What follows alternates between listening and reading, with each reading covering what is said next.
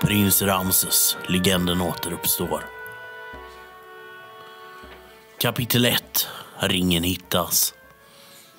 Mitt liv började som vilket liv som helst fram till den dagen då jag fann en ring som tog mig till en annan galax. Där fanns det en planet som liknade jorden men bestod av bara riket Egypten. Där ett krig mellan de onda och de goda pågick.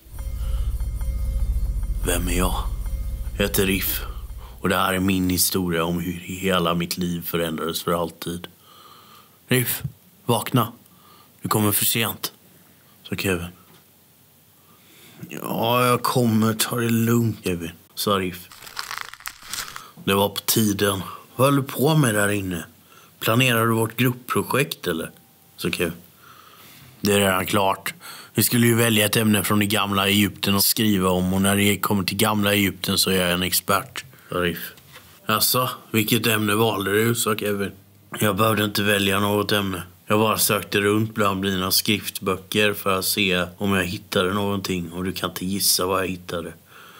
En 20-sidig skrift om Anubis, sa Riff. Anubis? Vem är Anubis för någon? Var han en farao eller? sa Kevin.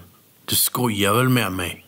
Anubis var ju den egyptiska guden, sa Riff. Alltså, du valde guden som ser ut som en man och en krokodil, sa Kevin. Nej, den guden du beskrev var Sobek. Anubis är den guden som har ett schakalhuvud, sa Riff. Riff, du vet att jag har svårt att skilja på alla de där gudarna, sa Kevin. Skojar du eller? Jag har ju också problem med vilka som var faraoner och vilka som var gudar, sa Riff. Det är inte sant, sa Kevin. Okej, då kan du väl berätta vem Ramses var, sa Riff. Ja, visst, Ramses var en solgud i det gamla Egypten, sa Kevin. Nej, det var han inte. Han var en farao. Den guden du tänker på heter Ra. Det är solens gud, sa Riff. Ja, ja, men nu måste vi vara tysta så att läraren kan få tala, sa Kevin. Och mycket riktigt, de hade kommit fram till pyramiden och klivit ut ur bussen och stod samlade under tiden som läraren berättade vad de skulle göra. Hör upp nu allihop! Nu är vi på en arkeologisk fyndplats. Så när ni går runt och samlar information om det gamla Egypten så måste ni vara försiktiga, sa läraren. Jo, läraren. Om man redan är klar med sin uppsats, vad ska man då göra? frågade Riff. Riff, säger du att ni båda är klara med er uppsats? Och vilket ämne valde ni? frågade läraren. Ja, vi är klara. Och vi valde ämnet Anubis, sa Riff. Ja, Anubis är den egyptiska dödsguden, sa Kevin.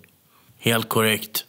Då är ni två redan klara så att ni får njuta av den här platsen som vid varje klassresa, sa läraren. Arif, vad tänker du göra? sa Kevin. Absolut inte bättra på solbrännan för jag tänker ta några bilder och se mig omkring, sa Riff. Efter att de hade utbytt sina planer gick Riff iväg åt sitt håll och började fotografera de tre stora pyramiderna. När han plötsligt såg något som glimmade till i sanden. Vad var det? sa Riff till sig själv. Han plockade upp den och satte den på sitt ringfinger och gick därifrån. Han märkte inte att någon stod i skuggorna, följde honom i blicken och morrade tyst.